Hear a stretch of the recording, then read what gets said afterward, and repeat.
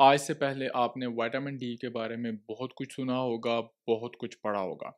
लेकिन आज की वीडियो में विटामिन डी के बारे में मैं जो इन्फॉर्मेशन आपको देने जा रहा हूँ, उसके बाद आपको विटामिन डी से रिलेटेड अपनी पिछली इन्फॉर्मेशन सिर्फ़ मिथोलॉजी लगनी है। आज की वीडियो में जहाँ हम विटामिन डी के सारी बॉडी पे जो इफ़ेक्ट्स हैं, उनको डिस्कस करेंगे, उसके साथ साथ हमारा जो मेन फोकस होगा वो होगा विटामिन डी का गुर्दे के मरीज़ों में अहम किरदार।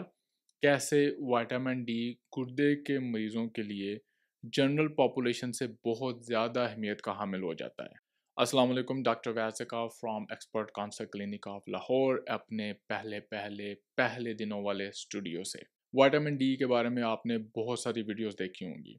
वाइटामिन डी का जो मॉलिक्यूल है, उसके बारे में हम तकरीबन 1930 से जानते हैं। और वहाँ से ले के आज तक वाइटामिन डी की स्ट्रक्चर और उसका जो काम है हमारे जिसम में, उसके बारे में हमें बहुत ज़्यादा इन्फॉर्मेशन मिली है। इस सारे लिटरेचर और इन्फॉर्मेशन से हमें पता है कि वाइटामिन डी का जिसम में दिमाग से ले के पाँव तक बहुत ही अहम किरदार है। वाइटामिन डी हमारे ब्रेन में बहुत ज़्यादा अहमियत का हामिल है? आँखों के काम के लिए, हमारे जिगर के काम के लिए, उसके बाद इम्यून सिस्टम इन सब चीज़ों में वाइटामिन डी बहुत ही अहम किरदार अदा करता है। आहर पे आके हमारी कॉलन यानी कि बड़ी आंतड़ियाँ और किडनी इसमें वाइटामिन डी की अहमियत और भी ज़्यादा बढ़ जाती है। क्योंकि हमारी बड़ी आंत में ये डिटॉक्सिफिकेशन के प्रोसेस को हेल्प करता है और शायद यही वजह है कि जिन लोगों में विटामिन डी कम होता है, उनमें देखा गया है कि कोलन कैंसर के बड़ी आंत के कैंसर के ज़्यादा चांसेस होते हैं। और जो गुर्दे के अंदर विटामिन डी की अहमियत है, वो इसलिए बहुत अहम हो जाती है कि विटामिन डी की जो सारी बॉडी में मेटाबॉलिज्म है, वो गुर्दे से रिलेटेड है। और जब गुर्दे की खराबी होती है तो वाइटामिन डी का जो सारा मेकिंग का प्रोसेस है एक्टिवेशन का प्रोसेस है, वो सारे का सारा ही डिस्टर्ब हो जाता है। और इसी पे हमने आज की वीडियो पे सारा फोकस करना है। आज की एपिसोड को शॉर्ट रखने के लिए मैं करूँगा ये कि जूँ ही मैं वाइटामिन डी की बॉडी के अंदर मेटाबॉलिज्म में से गुजरूँगा, मैं आपको साथ साथ करेक्ट करता जाऊँगा कि जो हमने मिस इन्फॉर्मेशन इकट्ठी की हुई है वाइटामिन डी के बारे में उसके बारे में आपने कैसे उसको सोचना है, कैसे उसको नई और करेक्ट टर्म्स के साथ याद रखना है? और एंड में जाके मैं रिलेट करूँगा गुर्दे के मर्ज को वाइटामिन डी की प्रॉब्लम्स के साथ और कैसे वाइटामिन डी को गुर्दे के मरीज़ों में प्रस्क्राइब किया जाता है और मैनेज किया जाता है। सबसे पहले आपने ये याद रखना है कि वाइटामिन डी एक बड़ी जेनेरिक सी टर्म है। इसमें वाइटामिन डी के कई कंपाउंड कई स्ट्रक्चर्स कई स्टेजेस पे इसका जो लेवल होता है, उस सबको जनरल पॉपुलेशन के लेवल पे विटामिन डी ही कहते हैं। नेक्स्ट स्टेप ये है कि विटामिन डी हमारे जिसम में आता कहाँ से है? हमारे जिसम के अंदर विटामिन डी के दो सोर्सेज हैं। पहला है एक्सपोजर टू सनलाइट यानी कि सूरज की किरणें जब हमारी स्किन पर लगती हैं तो इसके अंदर ये एक कोलेस्ट्रॉल रिलेटेड केमिकल को विटामिन डी में कन्वर्ट करती हैं। इस केमिकल को जिस पर के सूरज की किरणों ने काम करना होता है, इसको हम कहते हैं प्रो वाइटामिन डी और जब सूरज की किरणें अल्ट्रा वायलेट रेडिएशन इस प्रो वाइटामिन डी को एक और केमिकल में कन्वर्ट करती हैं, जिसने आगे जाके वाइटामिन डी का एक हिस्सा बनना है, उसको कहते हैं प्री वाइटामिन डी सूरज की किरणों के ज़रिए स्किन में से वाइटामिन डी के बाद जो हमारा दूसरा बड़ा सोर्स है वाइटामिन डी का, वो है खुराक. और इसमें वो खुराकें आती हैं जिनमें यूजुअली ज़्यादा कोलेस्ट्रॉल होता है, जैसे कि अंडा जिसमें कि जर्दी होती है लिवर और इसी तरह पोल्ट्री डेयरी प्रोडक्ट्स चीज़ ये वाइटामिन डी से भरपूर होते हैं। अब वाइटामिन डी का जो हमारा खुराक का सोर्स है, वो सिर्फ़ हमें thirty percent vitamin D provide करता है और सेवेंटी टू एटी परसेंट जो हमारे जिसम वाइटामिन डी आता था या आता है, वो सूरज की रोशनी के ज़रिए स्किन में से आता है।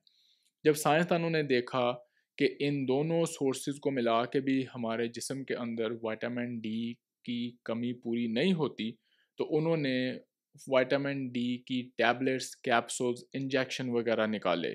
अब सूरज की किरणों और स्किन से आने वाला वाइटामिन डी खुराक से आने वाला वाइटामिन डी और कैप्सूल गोलियों इंजेक्शन से आने वाला विटामिन डी जो है, इस सबको हम कहते हैं pre vitamin D vitamin D two जिसको हम अर्गो कैल्सीफेरोल भी कहते हैं, ये आता है प्लांट से, पौधों से. और विटामिन डी थ्री जिसको हम कोल कैल्सीफेरोल भी कहते हैं, ये आता है एनिमल प्रोडक्ट से. अब ये प्री वाइटामिन यानी कि वाइटामिन डी टू या वाइटामिन डी थ्री जब जिसम में एंटर होता है तो ये खून में पहुँचता है और खून के ज़रिए ये पहुँचता है जिगर में। जिगर में एक एंजाइम होता है जिसको हम कहते हैं 25 हाइड्रोक्सिलेज ये 25 हाइड्रोक्सिलेज एंजाइम इस प्री वाइटामिन को अर्गो कैल्सीफेरोल को कोल कैल्सीफेरोल को वाइटामिन डी टू को या वाइटामिन डी थ्री को एक्टिवेट करता है और इसकी एक नई शक्ल बनाता है। जिसने के आगे जाना होता है गुर्दों में। ये विटामिन डी जो जिगर में तैयार हुआ है, यानी कि 25 हाइड्रोक्सी विटामिन डी, इसका भी अपना एक नाम है। इसको कैल्सीडायोल कहते हैं। अब इस 25 हाइड्रोक्सी विटामिन डी या कैल्सीडायोल ने जाना होता है खून के ज़रिए गुर्दों में। और गुर्दों के अंदर इसकी एक और स्टेप एक्टिवेशन होती है और इस पर एक और कंपाउंड ऐड होता है। जिसके बाद ये हो जाता है 125 twenty five dihydroxy vitamin D और इस वाइटामिन डी को 125 twenty five dihydroxy vitamin D को हम कहते हैं कैल्सीट्रायोल अब मैं गुजरता हुआ छोटी छोटी बातें और नाम डिस्कस करूँगा जो कि नॉन स्पेसिफिक हैं, लेकिन उनका मकसद आपको ये समझाना है कि क्यों आपने जनरल पॉपुलेशन के लेवल पे किसी ख़ास नंबर और नाम के पीछे स्पेसिफिक नहीं हो जाना होता क्योंकि इनके पीछे एक तो बड़ी सटल सी चीज़ें चल रही होती हैं, जिनका हमें आहिस्ता आहिस्ता रिसर्च के ज़रिए पता चलता है। और नंबर दो बाज़ात अभी जो नए कंपाउंड हैं जिसम में, जिनके बारे में हमने अभी दरियाफ्त ही नहीं किया, उनकी कमी की वजह से बाज़ात इंफॉर्मेशन इतनी एक्यूरेट राइट और लेफ़्ट या वाइट एंड ब्लैक नहीं होती, जितना कि हम समझना चाहते हैं या समझने की कोशिश करते हैं। अब पहले साइंसदानों का ख्याल था कि ये जो 125 डाईहाइड्रोक्सी वाइटामिन डी है, जिसको हम कैल्सी ट्रायोल कहते हैं, ये ही जिसम में मेन वाइटामिन डी का कंपाउंड है और यही बॉडी में सारे काम करता है। हालाँकि इस कंपाउंड कैल्सी ट्रायोल का, इस स्टेप का जो गुर्दे में होता है, जो कि वाइटामिन डी को एक्टिवेट करके 125 डाइहाइड्रोक्सी में कन्वर्ट करता है, इसका हमें पता चला 1986 में। और तब से हमने समझना शुरू कर दिया कि शायद जो पिछला 25 हाइड्रोक्सी वाइटामिन डी था, वो कोई ख़ास काम नहीं करता था, जब तक कि वो इस 125 वाली शक्ल में कन्वर्ट ना हो जाए, जो कि काफ़ी हद तक ठीक भी है। लेकिन एट द सेम टाइम अब हमें आहिस्ता आहिस्ता पता चल रहा है कि जो हमारा मेन वाइटामिन डी है 25 हाइड्रोक्सी वाइटामिन डी जो कि लिवर में बनता है, वो भी अगर अच्छी खासी कंसनट्रेशन में हो जिसम में तो वो भी वही सारे काम कर सकता है जो 125 डाईहाइड्रोक्सी ने करने होते हैं। तो यही वजह है कि मैं आगे चल के आपको बताऊँगा कि क्यों गुर्दे के मरीज़ों में 125 डाईहाइड्रोक्सी विटामिन डी का लेवल कम होने के बावजूद उनमें इतने मसाइल नहीं होते, एज़ लॉन्ग एज़ उनका 25 फाइव हाइड्रोक्सी वाइटामिन डी एक अच्छे लेवल पर रहे। और इसी तरह पहले ये समझा जाता था कि वाइटामिन डी 25 की जो मेन एक्टिवेशन होती है टवर्ड 125 डाईहाइड्रोक्सी वाइटामिन डी वो सिर्फ़ गुर्दे में होती है। अब हमें आहिस्ता आहिस्ता रिसर्च से पता चल रहा है कि इस तरह की कन्वर्जन जिसम के हर टिश्यू में हो सकती है, हर हिस्से में हो सकती है। और स्पेशली स्पेशली जो हमारा इम्यून सिस्टम है, उनके जो सेल्स हैं मोनोसाइट्स उनके अंदर तो ये कन्वर्जन बड़ी एक्टिवली होती है। यहाँ तक तो हो गई हमारी वाइटामिन डी की पूरी बॉडी में अहमियत, किरदार एक्टिवेशन वगैरह। अब यहाँ से हम आगे चलते हैं गुर्दे के मरीज़ की तरफ़। गुर्दे के मरीज़ में क्या होता है कि जब गुर्दा आहिस्ता आहिस्ता डैमेज होना शुरू होता है और क्योंकि गुर्दे के अंदर ही ये ज़्यादा वाइटामिन डी की एक्टिवेशन होती है तो वाइटामिन डी की कमी होनी शुरू हो जाती है। अब वाइटामिन डी की दोनों लेवल पे कमियाँ होती हैं। गुर्दे के मरीज़ वाइटामिन डी ट्वेंटी फाइव जो है, जो कि लिवर से तैयार होकर गुर्दे में आ रहा है, पहली बात उसको रीअब्जॉर्ब नहीं कर सकते, उसको संभाल के नहीं रख सकते, वो पेशाब में ज़्यादा निकलना शुरू हो जाता है। जहाँ पे जनरल पॉपुलेशन में 50 फ़ीसद लोगों में वाइटामिन डी की कमी होती है, गुर्दे के मरीज़ों में 80 फ़ीसद लोगों में वाइटामिन डी की कमी होती है। दूसरे नंबर पे आ जाता है वाइटामिन डी की activation from 25 hydroxy vitamin D to 125 गुर्दा क्योंकि डैमेज हो गया है, आपके नेफ्रॉन समझें कि 20 लाख से 5 लाख रह गए हैं 4 लाख रह गए हैं, और इन नेफ्रॉन्स में ही इस वाइटामिन डी की कन्वर्जन और एक्टिवेशन होनी थी। क्योंकि नेफ्रॉन का नंबर कम रह गया है तो आपके वाइटामिन डी की जो एक्टिवेशन है, वो कम हो रही है। क्योंकि इस एक्टिव वाइटामिन डी ने 125 डाइहाइड्रोक्सी वाइटामिन डी ने या कैल्सीट्रायोल ने मेन काम जो है वो आंतड़ियों में से कैल्शियम की ऑब्जॉर्बशन करनी होती है और बोन के लेवल पे कैल्शियम और फॉस्फोरस को मेंटेन करना होता है। इसकी कमी की वजह से जिसम में खराबी होनी शुरू हो जाती है। गुर्दे के मरीज़ों में गुर्दे के मर्ज़ की वजह से और वाइटामिन डी की कमी की वजह से तीन जो मसले हैं जिनको हमने मैनेज करना होता है, वो नमूदार होना शुरू हो जाते हैं, स्पेशली लेट स्टेजेस में।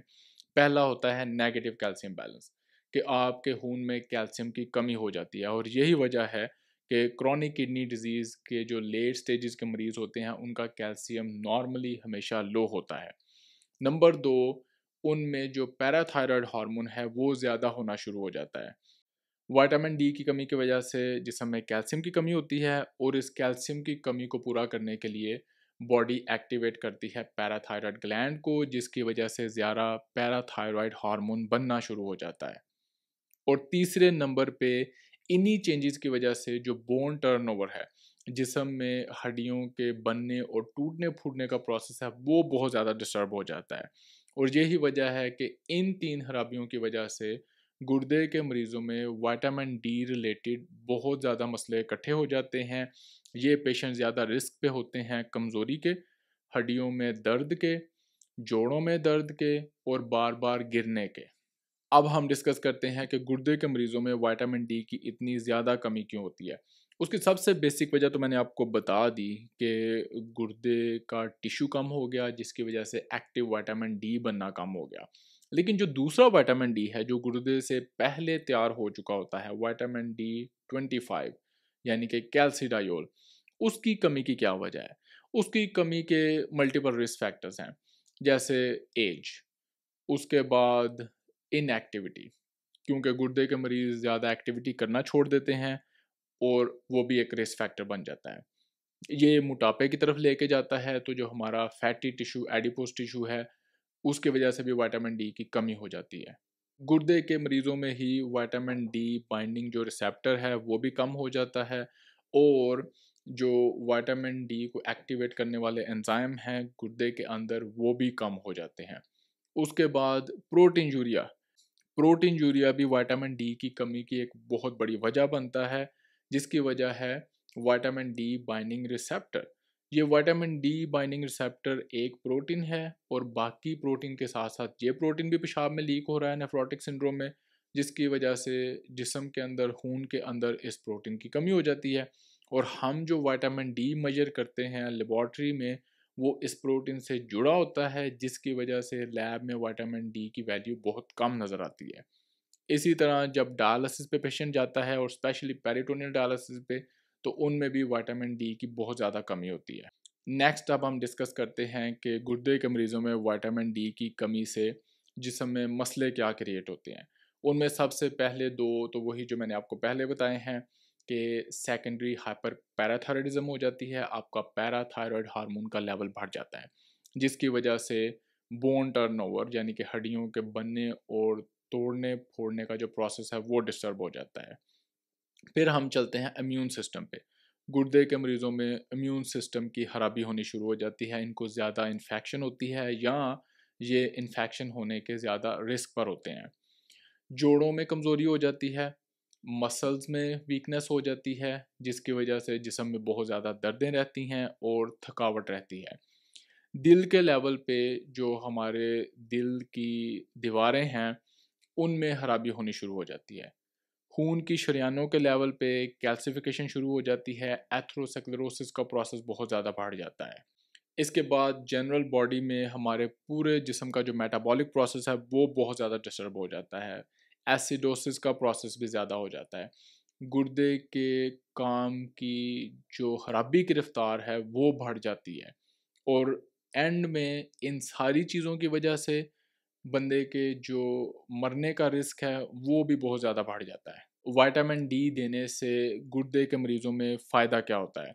सबसे पहला तो ये जितनी मैंने पिछली लिस्ट आपको गिनाई है, ये रिवर्सल की तरफ़ जाती है। इन सब चीज़ों में फ़ायदा होते नज़र आया है, इम्यूनिटी बेहतर हो जाती है, दिल के काम की बेहतरी हो जाती है, प्रोटीन यूरिया कम हो जाता है। गुर्दे के मर्ज़ के बढ़ने की रफ्तार में कुछ ना कुछ फ़र्क नज़र आता है। और ये रिसर्च सारी बड़ी क्लियर कट नहीं है, लेकिन ओवरऑल जो कंसेंसस है नेफ्रोलॉजिस्ट का रिसर्चर्स का, वो यही है कि वाइटामिन डी की कमी की वजह से जितनी खराबियाँ होती हैं, उन सब में बेहतरी आनी शुरू हो जाती है। और यही वजह है कि वाइटामिन डी के लेवल को गुर्दे के मरीज़ों में मेंटेन करना बहुत ही ज़रूरी है।